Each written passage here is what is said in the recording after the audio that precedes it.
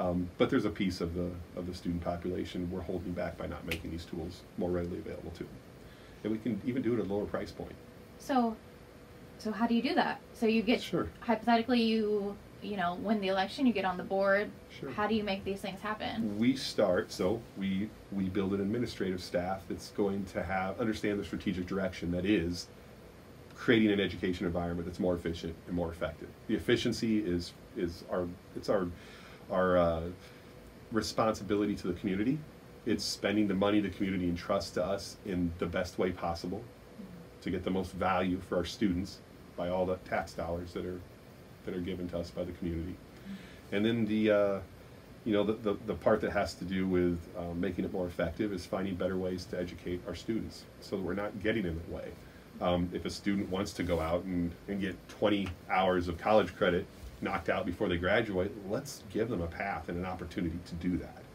And let's get out of their way. It sounds like they have that already though, because they offer like 55 hours at normal community and 41 dual credit hours at normal west. I mean, it sounds like those do, opportunities are but there. they have to seek them out. They're not necessarily placed in front of them. And um, Heartland classes will transfer in Mhm. all over the place. Mhm. All right, they're, they're, and those Heartland classes, you could take two of those in the semester while you're sitting there taking a class that has that's just dual enrollment. The flexibility and freedom to take those classes is exponentially greater, Oh. and it's a direct transfer. You could, he, again, my son could have. He was he wanted to play golf in, in college, Mhm. so. Um, Darren is the golf coach at Heartland. He's a good friend of ours. He's like, Keegan, come play for me. Come play for me. Keegan's like, I just can't. I, if I did, I'd have one semester of school. Like by the time you guys go into season, I'm done with school for my associate's degree at Heartland, so it doesn't fit. Mhm. Um, so, and it is very different. And the cost of a dual enrollment class versus a class at the College Now program that's proctored electronically are significantly different. Mhm. So we're trying, the, the outcome's the same. You get three credit, you get your, your requirement satisfied in Normal West, and you get your three credit hours of college experience knocked out. But one's a very expensive way of doing it, and one's a very cost-effective way of doing it. How much do you expect that to save the district, say So- annually?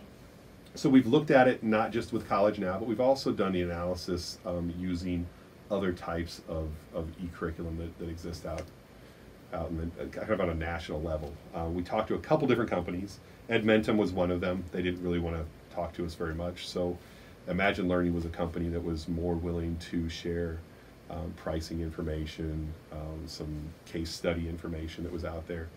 Um, what we're finding is we have like just looking at sixth graders through 12th graders, so just the junior high to high school age.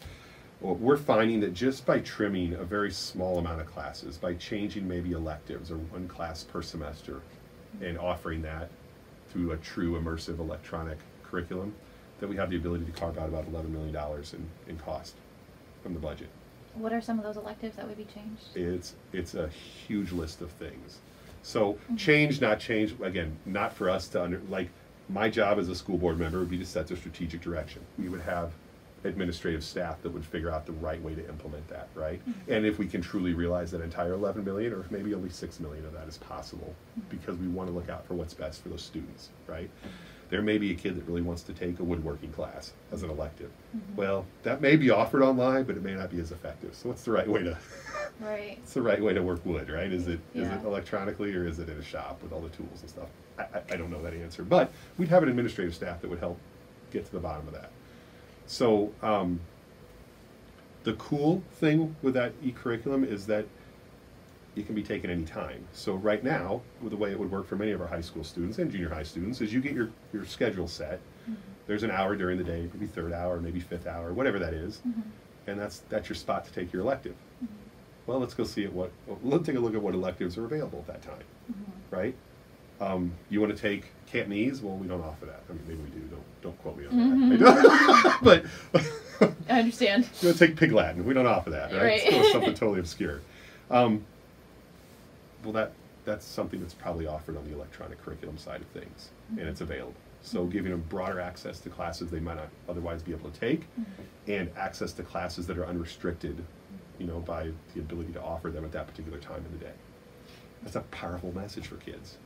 Do you worry that the message does not resonate with people who went through two years of COVID? Hundred percent. That COVID world and what we did with Google Classroom in our local school district, it's a travesty. But I think it goes beyond the software. It was it was the fact that you didn't have kids interacting with each other, their peers, their and in this world, they adults. would still interact. We, we they could do these classes in the building. It could be something that gets knocked out. There's a bunch of different ways to do it. And again, an administrative group of individuals would figure out the right way to do that for the Mhm. students. And there are, again, in talking to Imagine Learning, there's some cool uh, case studies and different ways of doing it. And there's good and bad with any of that, right? Um, but yeah, this this type of an initiative definitely gets compared to the COVID world, but they're night and day different. They don't even they're not. It's, it's apples and oranges. Hmm. Um, the COVID world was a true failure in our del- our ability to deliver content uh, to these students. Um, and I even kind of remember back during COVID. I talk about this a little bit sometimes, but we saw some emails. We saw some stuff where the district was starting to pivot to use something, and I, I'll never know what it was exactly. I think it might have been Edmentum, Mhm. But they were getting ready to use a true e- e-learning curriculum. Mhm. And in the 11th hour, they pulled back because I think they found out that the teachers that were proctoring that stuff were going to be people up in Wisconsin from the Edmentum company Mhm. that were contractors. Mhm. They weren't going to be our local teaching staff. And I think they pulled back and they decided we're going to err on the side of teachers in this case, and we're going to implement this never done before thing called Google Classroom. Um, that really, truly, because our kids went through it, all of our kids were involved, and it was a complete and utter failure. Mhm. So you, you would have rather seen them maybe do that Edmentum thing. Correct. It would have been, it would have at least been a tool that had a track record of some Mhm. level of success. It would have been a medium that was, was tested, that was, was already developed specifically for that type of delivery. Mhm. Google Classroom wasn't. How have uh, potential voters been taking it? It depends. So Yeah. that has been one of the kind of cool challenges. So not only are we running, running a campaign right now and trying to get people's votes, but we're also trying to educate the community on the potential and the opportunities that exist in that space. And it's um, many people have been very open to it. Many people internalize it. They're like, "Well, I work at State Farm or I work at Country Financial, and we use electronic curriculum for any type of training now." Mhm. I've had teachers that recognize that, yeah, you know, I got, when I went back and got my master's degree, 50% of those classes were available electronically. It was maybe the thing that gave me the potential to do it because I could do it at home in the evening. Mhm.